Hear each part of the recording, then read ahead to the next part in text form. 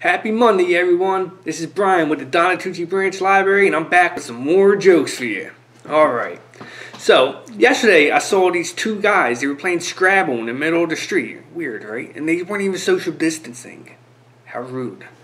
And then the one guy, he spilled all of his Scrabble letters out onto the ground. So I said, Yo, what's the word on the street?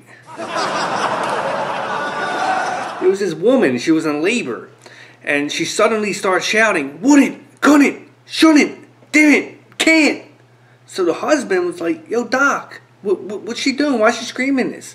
The doc said, Don't worry, they're just contractions.